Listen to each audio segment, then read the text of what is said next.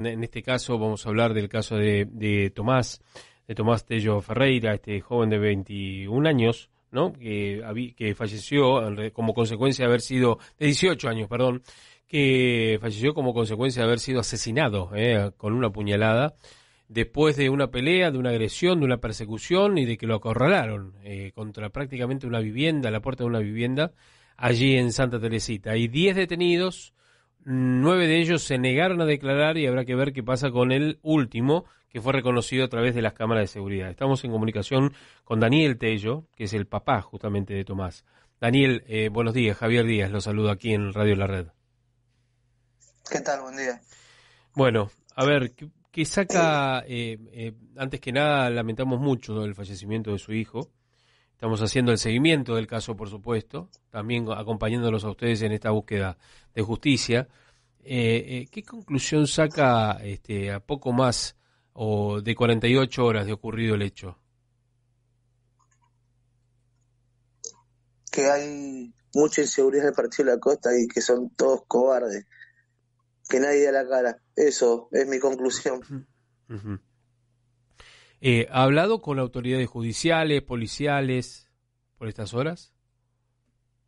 Solo con el inspector general eh, del Partido de la Costa, inspector comisario general. Sí. Eh, y después del lado de, del municipio y todo eso con nadie. ¿Y qué le dijeron? Que iban a hacer lo posible por detener a todos, que me quede tranquilo, que no puedo. Obvio. Eh, nada, que trate de calmar a la gente, porque si se ponen al frente de la comisaría y, hacen desmane y todo eso, es que tienen razón, que no hay que hacer eso, no quiero eso, no me gusta eso. Eh, es como que lo, no lo iba a dejar trabajar tranquilo, así que pedí por favor a todo el mundo que no haga nada. Y quiero que, que los agarren a todos, que no quede nada suelto. Van ayer a la noche, 10, 11 de la noche, me llama el comisario Costa del Este, un amigo, me dice que él se iba a encargar de hacer los allanamientos, junto con el comisario de Santa Teresita, sí.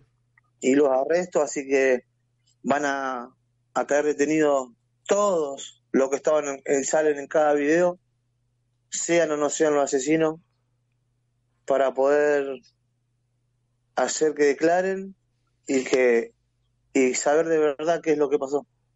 Y ahora hay 10 detenidos, dos de ellos son menores. ¿Usted cree que ya está cerrado el cerco de aquellos que agredieron y terminaron matando a su hijo? ¿O hay más? No, no, no. Esto empezó a las cuatro y media de la mañana y me terminaron con la vida de mi hijo a las siete. O sea que, eh, y, durante la semana anterior, que habían tenido un problema entre ellos, no los conocemos, no son de acá. Ahora me acabo de enterar de que sí hay algunos de acá que estaban con los que no conocíamos. Eh, se juntaron, andaban buscando, se, se prepararon, esperaron a que mi hijo quedé casi solo, me lo corrieron como a un animal, me lo cazaron y me lo mataron, como cobardes, como cobardes me lo mataron. Y la impotencia, me imagino, de usted de no haber podido darle una ayuda a su hijo, ¿no? no estar en el lugar. Quédate tranquilo que se la voy a dar. ¿Cómo? Se la voy a dar. Se la voy a dar esto no va a quedar así. Yo se la voy a dar a la tranquilidad, para que él se vaya tranquilo. ¿Qué quiere decir usted, Daniel, con eso, que usted se la va a dar? Se la voy a dar, no quiero, se la voy a dar. ¿Usted cree que va a haber justicia? Sí o sí va a haber justicia. Mm. Sí o sí va a haber justicia.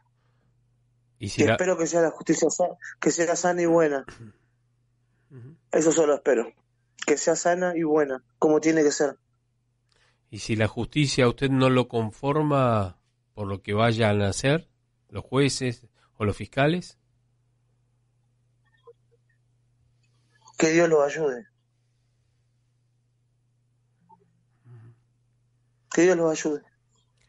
¿Por qué cree que pasó lo que ocurrió? Es decir, ¿por qué lo, por qué lo esperaron, por qué lo emboscaron y lo corrieron? ¿Por qué cree usted, Daniel? Mi hijo hizo una fiesta de fin de año con sus amigos en mi casa. Yo llegué de San Luis el 17 de, diciembre, que fui por cosas laborales a San Luis tres meses. Eh, vuelvo, me dice que quería hacer con los amigos en casa, en el patio, afuera, una fiesta de despedida de año. Le dije que no había ningún problema. Eh, llegan dos personas a las cuales no conocemos. El chico que estaba justo ahí en la puerta me dice, Dani, yo no los conozco, nadie los conoció, no los dejaron entrar, empezaron a discutir, eh, se pelean, se pelean, yo salgo, eh, agarro hasta dos personas que están ahora arrestadas, se pelean de pelearse, no es que se pelean de palabras, se pelean, quiero dejar en claro porque después dicen que ocultamos cosas, dijeron tantas barbaridades que, que, me quedan problemas de territorio, mi hijo es un pibe que labura con mi hermano haciendo servicios durante todo el año acá en Santa Teresita, en Maretuyú, hay más, tienen más de 30 departamentos, o sea que no tenemos absolutamente nada que ver con la playa ni con los trapitos, no somos gente de nada de eso. Mi hijo no tuvo nunca un antecedente, nunca lo tuve que ir a buscar a la comisaría, nunca nada, nada. Eh, pasó solo de la fiesta, salgo para afuera yo, lo separo, me lo llevo a los dos chicos, le pido por favor, dos chicos, treinta y pico de años, por favor, que, que se retiren, se querían seguir peleando, no querían hacer caso. Eh, los agarro a cada uno de los brazos y me los llevo dos cuadras caminando, pidiéndole por favor de que se vayan porque iba a ser para peor. Porque fueron a las 5 o 4 de la mañana provocando y yo sabía lo que iba a pasar. Entendieron, los saludé y se fueron. Y ahí quedó. Y después durante la, ahí quedó durante la semana, no, vuelvo y había uno de los chicos que cuando se pelearon, que se cayeron al piso, había dos documentos en el piso. Dos documentos y no me acuerdo qué, más era el otro que había. Yo agarré los documentos para mí. Miro los documentos, los documentos de todos los chicos que yo recién había dejado. Había dejado dos cuadras. Bueno, decía domicilio en Moreno. No sabía ni cómo ubicarlo, pues no sé ni, ni dónde estaban, ni dónde estaban parando. Durante la semana me entero que lo andaban buscando a mi hijo, porque lo nombraban porque la casa era justo de Tello. Sí.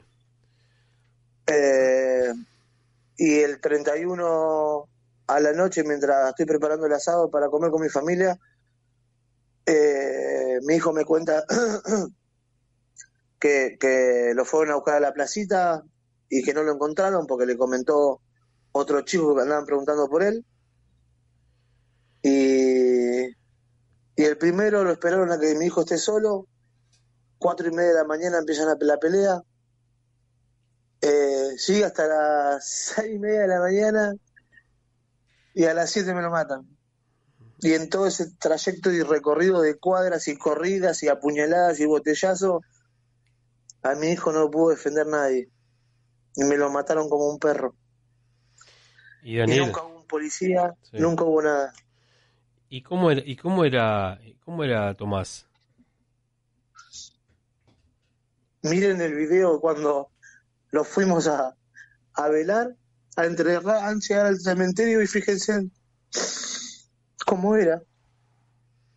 Si lo querían, gente corriendo 20 cuadras atrás de los autos, corriendo, chicos, madres, padres, vecinos, corriendo atrás de los autos, saludándolo a mi hijo.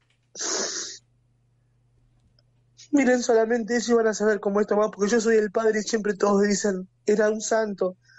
Pero yo te puedo asegurar que se llevaron un ángel. Se llevaron un chico de un metro ochenta, con 18 años y un corazón de un nene de 13. Se acaban de llevar un ángel.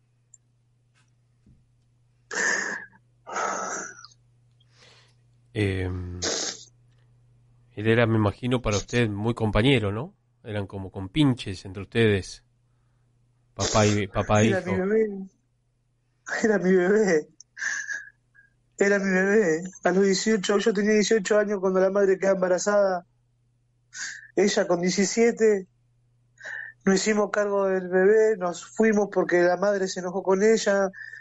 Nos fuimos a vivir juntos. Fue toda una lucha y pelea de chicos que recién estaban saliendo a la calle porque acá nosotros no somos como los de otro lado.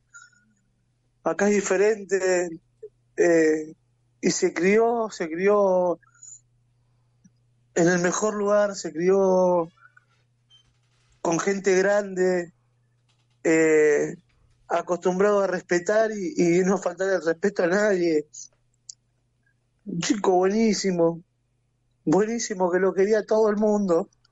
Hicieron 30 kilómetros, chicos, en bicicleta por la ruta yendo a despedir a mi hijo. Sí, Imagínese sí, se notó, se notó, sí. si, si él era malo. Imagínese si él era malo.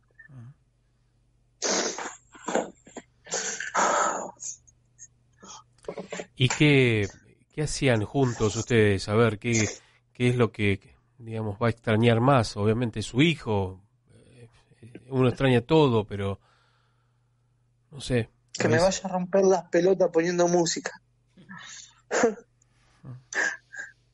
Eso. Que me ponga la música todo lo que da y reniegue con él. Eso voy a extrañar. Sentir el viejo. Recién llego a trabajar.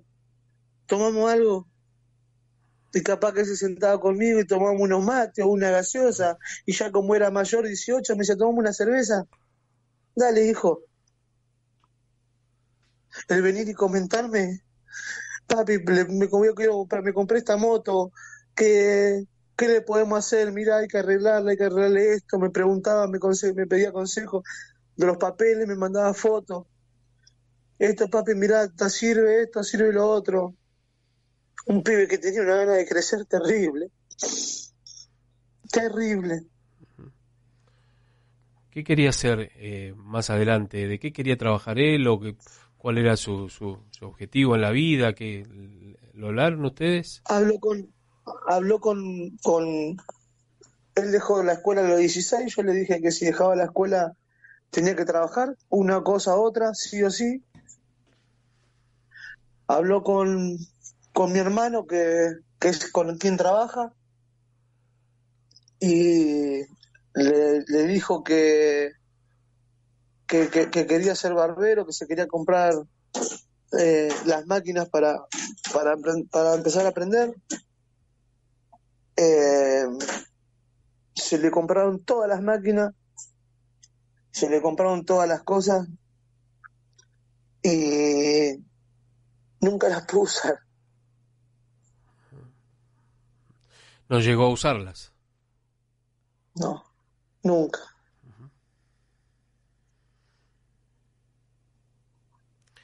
Eh, ¿Alguna vez ustedes hablaron del, del caso Fernando Baez Sosa?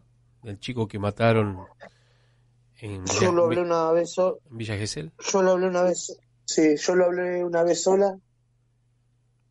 Eh, y la madre se lo recordaba siempre. Yo con la madre estamos separados, pero yo sé que, la madre lo habló varias veces con él. Siempre lo que le decimos, lo que le decíamos era que tenga cuidado. Yo siempre digo lo mismo, él lo quería tanta gente, tanta, tanta gente, y yo creo que de bronca, de no sé, no sé. Mis primos, mis hermanos le daban el bora y él salía, y, y 18 años en un barrio, en un pueblo, en, no sé, ni siquiera de él era el auto, era de mi hermano, envidia, bro, no sé, la verdad que ya no sé, no, no, no entiendo y no va a haber justificación por haber hecho lo que hicieron. No, tal cual. Tal cual. No va a haber justificación. Eh, Y la van a pagar, sí o sí todos. Todos la van a pagar. Usted Los conocía, que estuvieron y lo que, lo que estuvieron y lo que los dejaron tirados, todos. ¿usted conocía a alguno de los que lo atacaron a él? el, el hombre de, de, de, de 57 años Sí. lo conocí en la casa de mi vecino, que son albaniles. Yo siempre, con los vecinos en, en el barrio nuestro, muy buena comunicación. Siempre nos juntamos entre todos a tomar mate, a hablar, a charlar, lo que fuese. Y mi vecino fue el primero que me llamó y me dijo, Daniel, ¿sabés quién es el tipo de 57 años? Y le dije que no. Y me dice, boludo, es Cacho. ¿Qué Cacho? Le digo, Cacho. Y me dice el, el que, bueno, y me comentó el día que estábamos tomando mate ahí. Digo, vos me estás hablando en serio, vale. Sí, Dani, me dice, él, es él y los dos hijos. Y nada, sorprenderme cada día más de que uno no se da cuenta de, de cómo son las personas y, y tener a un asesino sentado en la mesa donde está vos Claro, que después mata a tu hijo. tal cual. Eh, ¿Tiene otros hijos, Daniel, usted? Sí, tengo una hija de, de 14 años eh, con la madre de Tommy y la mamá de Tommy ahora va a tener familia en esta semana con, con su pareja, estamos separados hace más de 8 años. Eh, y van a ser su hermanita ahora, en esta semana. Tremendo. ¿Qué es para usted que se haga justicia, Daniel? Que agarren a todos los que tengan que agarrar y que se pudran en la cárcel. Porque ni en la cárcel van a poder vivir. Ni en la cárcel van a poder vivir. En ningún penal de la República Argentina van a poder vivir. Porque si a mi hijo me lo mataban en un accidente de tránsito, es una cosa. Si mi hijo se moría trabajando, en negligencia de él o de otra, es, una, es otra cosa. Pero a mí me lo corrieron, me lo cazaron, me lo mordieron a palo, a botellazos en la cabeza, lo apuñalaron en el corazón y me lo mataron. Nunca me van a traer a mi hijo de vuelta. Nunca. Pero no van a vivir en ningún penal de la República Argentina. Eso lo aseguro. ¿Qué quiere decir con eso, Daniel? Que no van a vivir en ningún penal de la Argentina. Lo que acabas de escuchar. Lo que acabas de escuchar. ¿Usted haría justicia por mano propia? ¿Eso quiere decir? Lo que escuchaste, nada más. Que tenga buenos días. Hasta luego, Daniel. Muchas gracias. Gracias. Hay que entender, obviamente, ¿no? Eh, dentro del dolor, la bronca y hasta, hasta tal vez el odio, ¿no? Eh, una familia que ahora va a tener que hablar en pasado al recordar a